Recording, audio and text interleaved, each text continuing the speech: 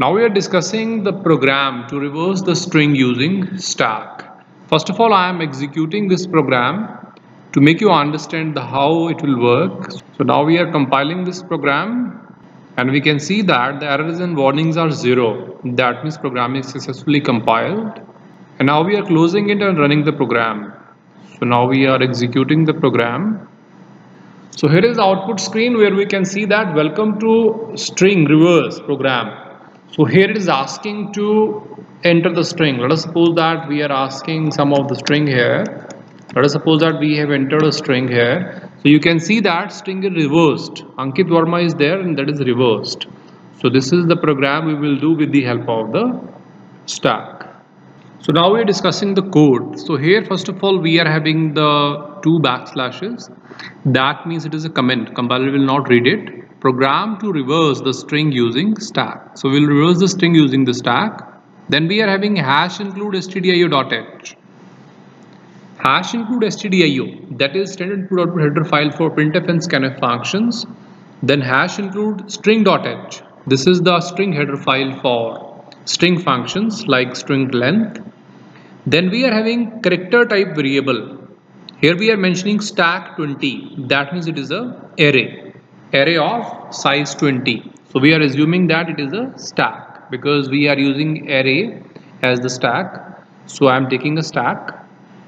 So now this is the stack and talking about the stack as the size of stack is 20 so it will start from 0 so 0 1 2 3 4 5 and these values will go up till 19 because 0 to 19 it is the 20 now afterward we are having the next line which is int top is equal to minus 1 so there is one top. Top means this is the top pointer which is pointing to the top element and right now there is no element into the stack. That's why the top is pointing to minus 1 so top is pointing to minus 1 now we are having few function prototype. Void push char. That means if I has to push a character then we need a push function push char. There is no return type that's why the void. Then char pop means if we are going to pop something then character will be returned. Now afterward we are going to understand what are the main program. So here i am learning with the main program. Now here we are having void main. So we are on the main function. Char str20 so there is a string of 20 size means it is an array which is having the 20 size so now this one is the array which is named as str. This is a string now 0, 1, 2, 3, 4 and up to 19. This one is the index values for this string. Now afterward we are having the next line. So the line says that int l and i. So there are two variables which we are taking. One is l and one is i. Afterward we are having printf welcome to string reverse program so here the line will be printed on the screen that welcome to string reverse program. Afterward, there is another printf means on the screen we are printing slash n for the new line. Enter string. So we are asking from the user to enter a string. Let us suppose that user has entered some of the string. We are assuming that the string is this one. A-N-K-I-T user has entered. Gets str. So whatever we are taking that is going to the str so gets means taking the whole string and str str means str is the array where we are storing. So this a and kit will be stored here. So this is a and k i and t. So that is stored here. Then afterward we are saying l is equal to strlen strlen is a string handling function for string length str so finding the length of string here we can see that there are five elements one two three four five. So five elements are there that's why the l will be five. So string is five. Now we are running a for loop.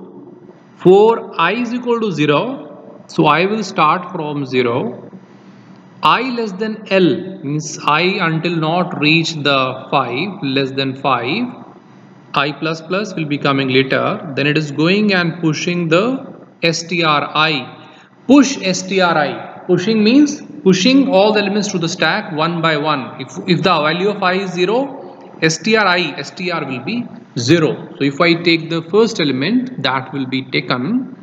So at this time the i is 0 so if the i is 0 then it is pointing to 0 and here we are taking the first element str0 which is a and we are pushing. That means we are pushing here. Now what that push function is saying push function is saying to push the elements. That we will discuss later on that what the push function is doing. And obviously we know that push function is going to push the elements one by one and top will be incremented. So here the top will be incremented earlier value lost. Now again this loop is going to run until it is less than 5 i plus plus and so on. So the value of i incremented i is 1 stri means n n is pushed top incremented. Then afterward the value of i is 2 so str2 that is pushed. That means k is and the top value incremented so these values are not no more there. Afterward the value will be 3 so str3 and here is i so i will be placed here. Then afterward top will be incremented top will come here the value will cross. Then 4 so here 4 is t so t will come here and the top will be incremented now the value of i will be 5 but it is not matching the condition. The condition is less than 5 and it is 5 so condition will false and it will come to the next line. So here we are having the next line. Printf reversed string. So on the user screen there is a message reversal of the string.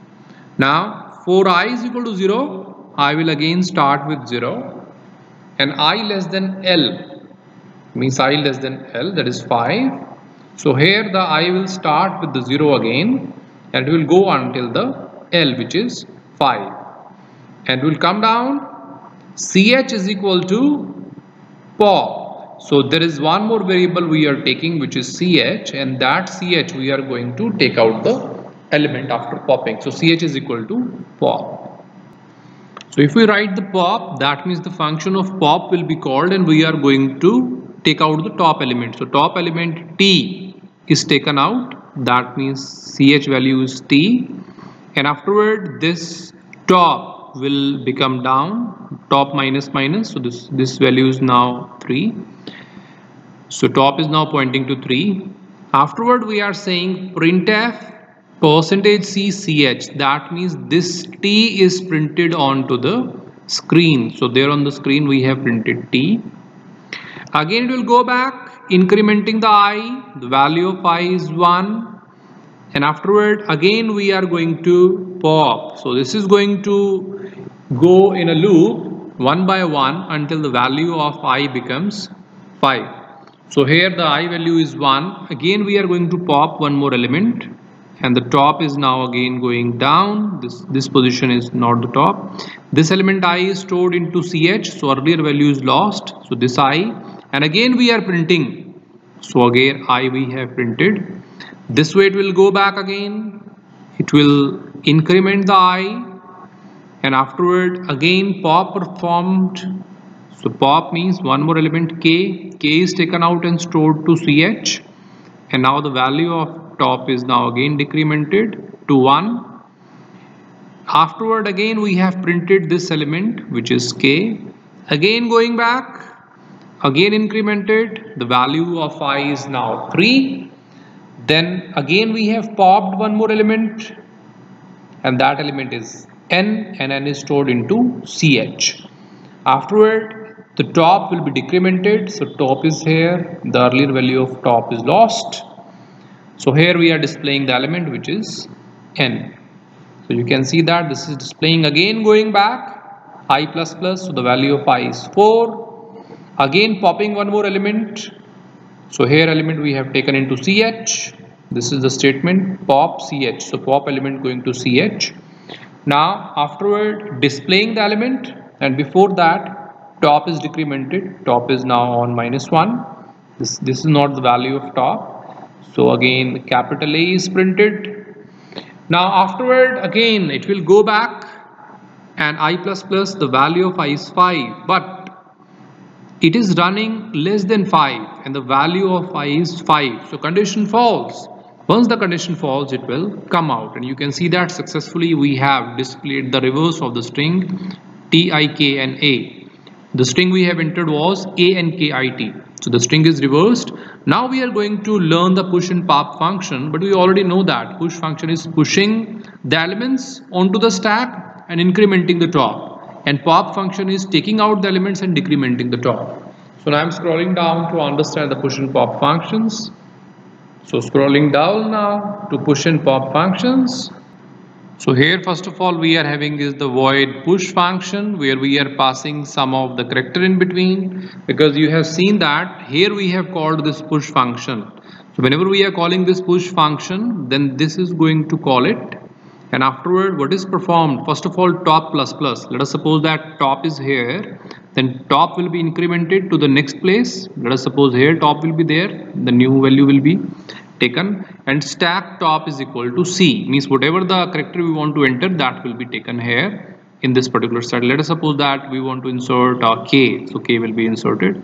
So this is how the push function will work. And if we talk about the pop function then this is going to call the pop function and it will return a character. You can see that. There we are having the return type character. It will return a character.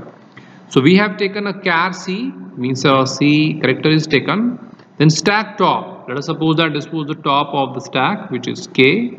So that k is stored into this c because you can see that stack top is going to the c. And top minus minus. So after removing this it will again go back to the previous position. So this is how the top is working and return C. So this C will be returned back to the calling program. So this K will be given back to the calling program let us suppose here so this is how the push and pop functions are working so this is the complete program of converting the string into the reverse using the stack